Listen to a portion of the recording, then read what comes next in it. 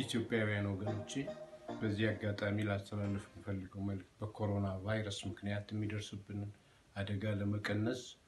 መተባበር፣ መመካከር ይኖርብናል። በተለይ በመጓጓዣ አውታሮች፣ በገበያ ቦታዎች፣ በቤተ እምነት ዙሪያ የምናደርገው እንቅስቃሴ በጥንቃቄ ቢሞላ አማራጭ